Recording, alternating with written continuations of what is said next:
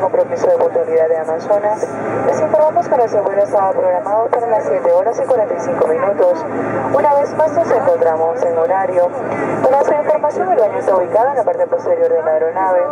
Está provisto de detector de humo. La destrucción del mismo está penado por el artículo 213 del Código Penal. Gracias.